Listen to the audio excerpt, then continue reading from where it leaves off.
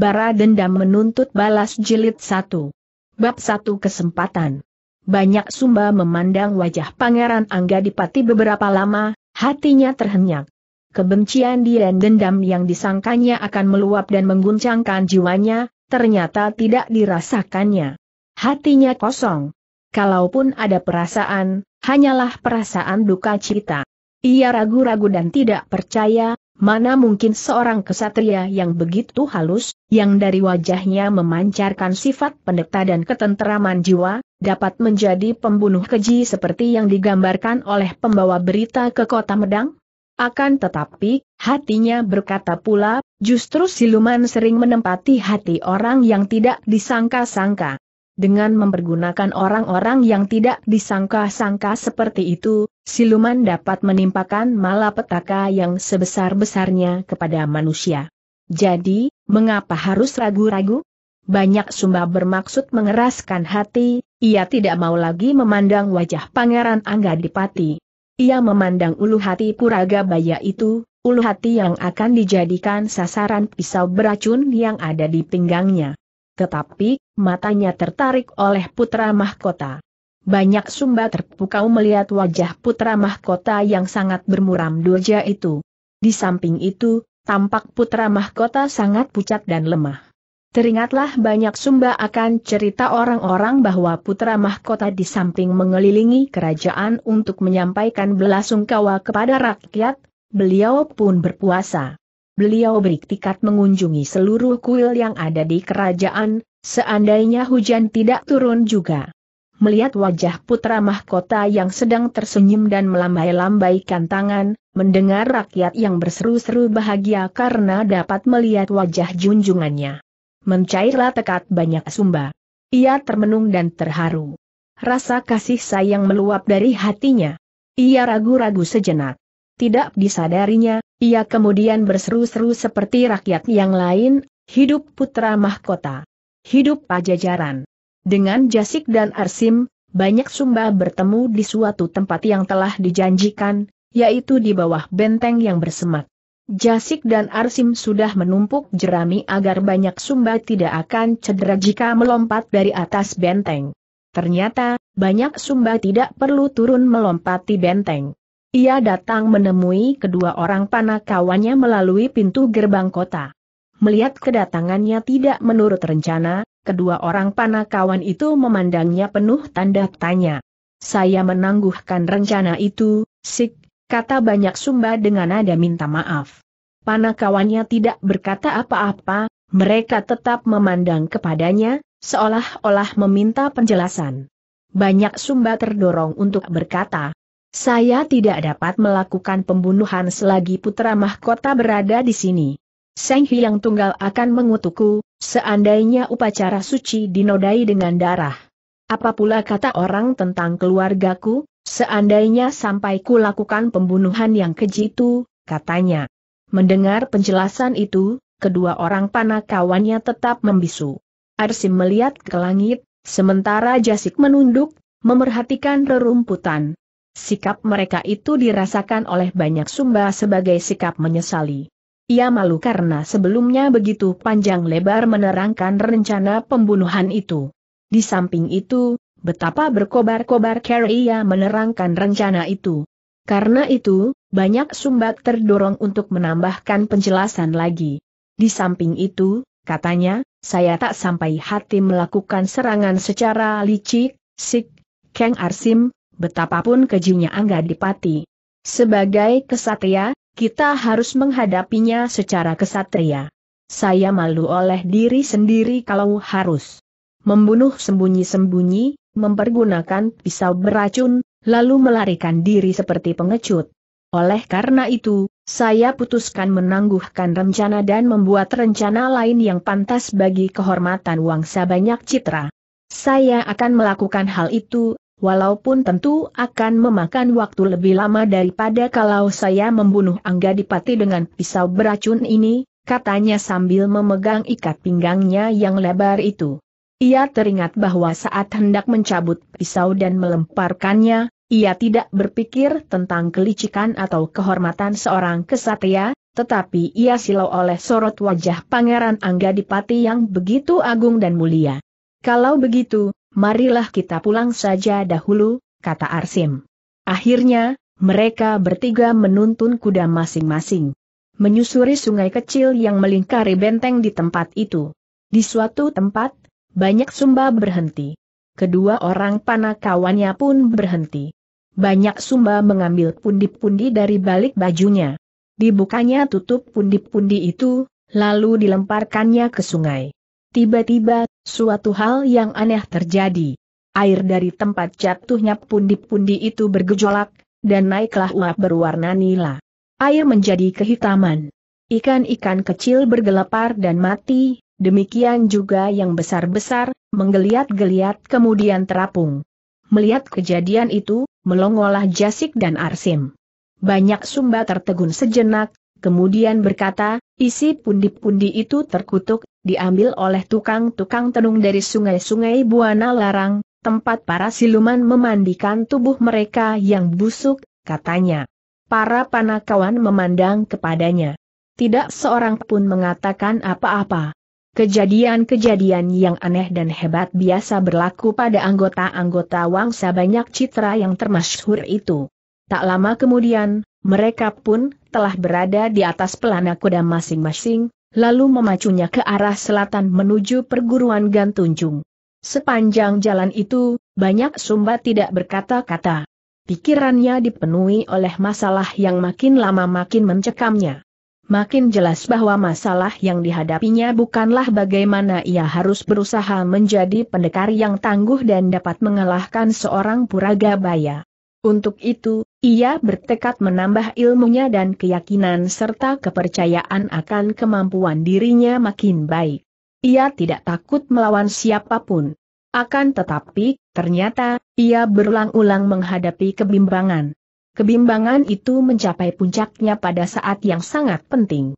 Ia tidak dapat melaksanakan tugasnya ketika kesempatan untuk membunuh Anggadipati tiba. Itu bukanlah disebabkan ia takut, tetapi ada sesuatu yang menyebabkannya bimbang.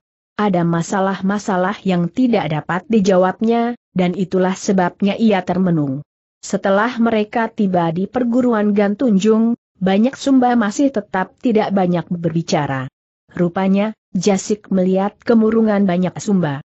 Ia mendekat dan bertanya, Raden bersusah hati, apakah saya dapat menolong Raden? Walaupun saya tidak cerdas, biasanya saya punya Caroline yang dapat Raden pergunakan. Ya, Sik. Kau tahu, saya bukanlah penakut. Tetapi ketika saya melihat Anggadipati mendekat, seolah-olah ada cahaya yang menyilaukan mata hati saya. Saya menghindari sorot wajahnya dan hanya melihat sasaran pisau saya. Namun demikian, saya masih juga tidak dapat bertindak.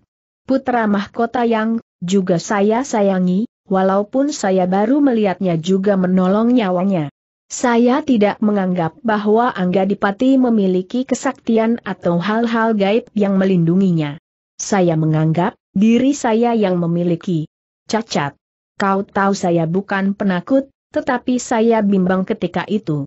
Apa rencana Raden sekarang tanya Jasik. Saya tidak tahu, Sik. Saya akan kembali ke kampung Si Gojin mengembalikan kuda kepada Arya Banga. Selanjutnya, mungkin saya akan mencari tempat yang baik untuk bertapa, untuk menemukan jawaban dari pertanyaan saya. Saya akan memohon petunjuk kepada Sang Hyang Tunggal. Raden, ada tugas yang pasti tidak menimbulkan keragu-raguan Raden. Siapa pun akan sependapat bahwa Abu Kakanda Jante adalah hak wangsa banyak citra. Itulah sebabnya, kita dapat memulai tugas kita dari yang ringan itu. Soal Angga Dipati, kita tangguhkan dahulu. Soalnya, sudah hampir tiga tahun kita mengembara. Benar, Sik. Saya sependapat denganmu. Tetapi saya akan tetap gelisah kalau pertanyaan-pertanyaan saya tidak terjawab. Saya akan pergi dulu kepada si Gojin. Saya akan bersemedi di dalam hutan, kemudian segera kembali ke sini. Rencana yang pertama adalah mengambil Abu Kakanda dan kita dapat kembali ke kota Medang, meminta restu ayahanda untuk melakukan tugas selanjutnya. Tugas yang pertama adalah belajar, kedua membalas dendam dan membela kehormatan keluarga. Tidakkah Raden kekurangan biaya tanya Jasik sambil memegang pinggangnya, tempat dia menyimpan uangnya. Tidak sik, saya dapat berhemat di luar kota kota barang. Barangkali, pada masa-masa yang akan datang, saya akan perlu bantuanmu. Simpanlah uang itu.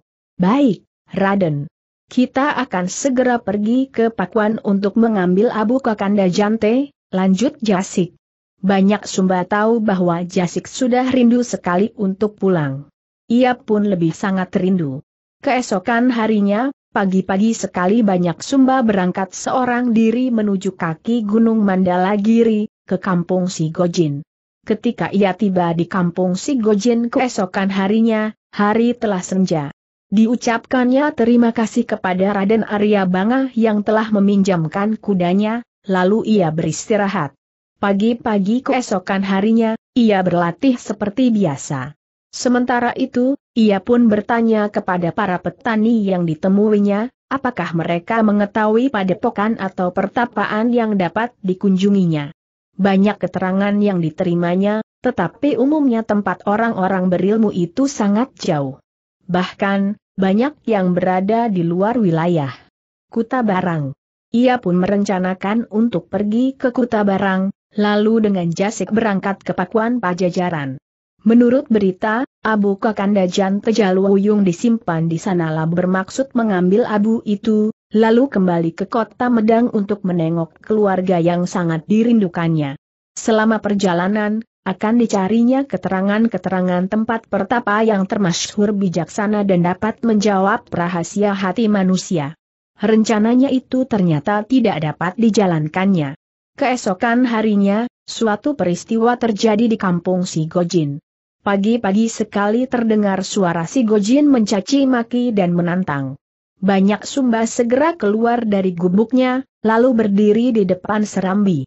Sigojin bertolak pinggang, menghadapi tiga orang asing yang baru tampak hari itu.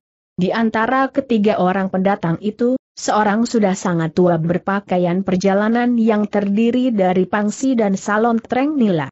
Dari pakaiannya itu, banyak sumba tidak dapat menduga, apakah orang tua itu seorang petani atau seorang pendeta. Dua orang yang lain sangat mudah diperkirakan. Mereka yang sangat muda ini berpakaian seperti santri-santri padepokan. Mereka mengenakan salon treng putih, celana pangsi, serta sarung terikat di pinggang. Ketiga orang itu mengenakan terompah yang sama potongannya, yaitu terompah kulit kasar yang tidak disamak dan tanpa hiasan apa-apa. Perhatian banyak Sumba terhadap ketiga orang pendatang itu tidak terputus karena si Gojin berteriak, kalian tidak dapat memaksa aku menyuruh Raden Arya Banga pergi dari sini. Ia datang ke sini dengan kehendaknya, ia akan kubiarkan pergi dari sini kalau dia menghendaki.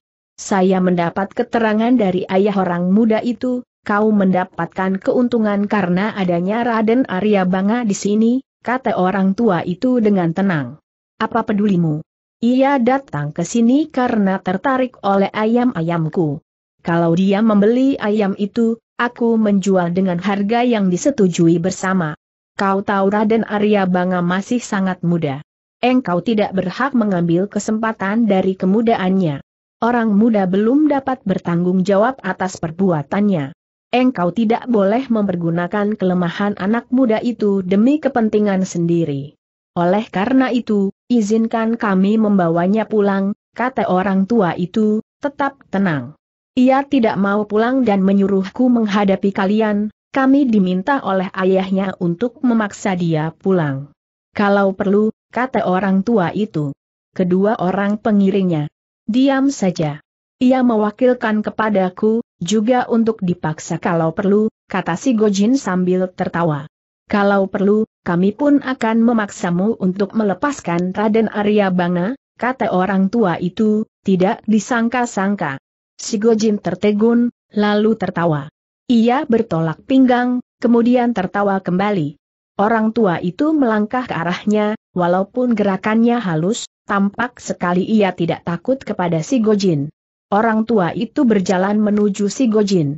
Setelah berdekatan, ia memandang mata si Gojin. Si Gojin bingung, kemudian tertawa kembali, walaupun tidak sekeras sebelumnya. Tiba-tiba, si Gojin menangkap leher orang tua itu. Tapi entah bagaimana, dengan secepat kilat, si Gojin telah terbaring. Si Gojin segera bangun. Ketika bangun, ia melihat banyak sumba. Setelah berdiri kembali, si Gojin bersiap. Rupanya, ia sangat marah dan malu dengan banyak sumba. Dari sikap kakinya, banyak sumba tahu bahwa si Gojin bermaksud memukul orang tua itu sampai mati. Akan tetapi, orang tua itu dengan cepat maju, dan kedua tangannya memegang tangan si Gojin. Ia tidak memegang dengan seluruh jarinya melingkar, tetapi melekatkan kedua tapak tangannya pada kedua tangan si Gojin. Si Gojin mengibaskan kedua tangan itu dengan keras ke samping tiba-tiba, ia terjatuh kembali dan telentang. Ia segera bangkit dan menghambur, menubruk orang tua itu. Orang tua itu menggerakkan tangannya sedikit, sambil memindahkan kedua tapak kakinya. Si Gojin melesat lalu tersungkur, kira-kira tiga langkah di belakang orang tua itu. Lebih baik kau katakan kepada Raden Arya Banga agar dia mengikuti kami, pulang ke Kuta Barang. Tidak seru si Gojin. Ia bangkit, sambil tengah-engah bersiap-siap kembali melakukan serangan. Orang tua itu diam saja. Si Gojin mendekat, mengembangkan kedua tangannya hendak menangkap orang tua itu. Banyak sumba dapat meramalkan, si Gojin akan mengambil keuntungan dari tenaganya yang besar. Si Gojin tentu bermaksud menangkap orang tua itu, lalu mengangkat dan membantingnya serangan itu akan sukar sekali dihindarkan.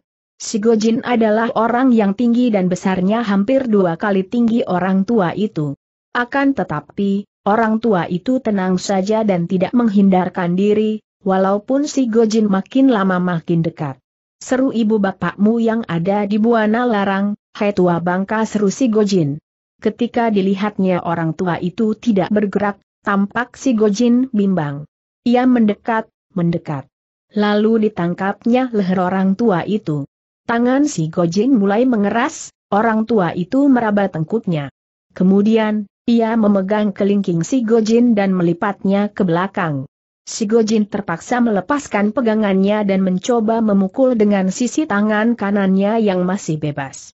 Orang tua itu mengendalikannya dengan terus melipat kelingking si Gojin dan mengikuti gerak lengan si Gojin yang hendak melepaskan kelingkingnya. Mereka melingkar-lingkar sejenak, kemudian si Gojin jatuh kembali.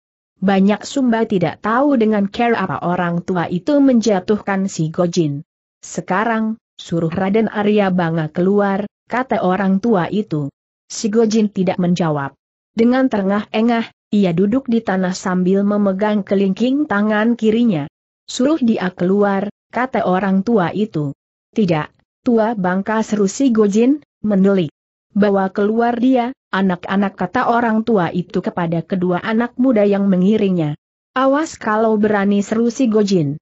Santri-santri itu melangkah ke gubuk terbesar tempat tinggal Arya Banga. Mereka tidak perlu masuk karena Raden Arya Banga keluar tampak ia menyerah kepada suruhan-suruhan ayahnya. Ketika banyak sumba masih terpukau, keempat orang itu telah pergi meninggalkan kampung si Gojin.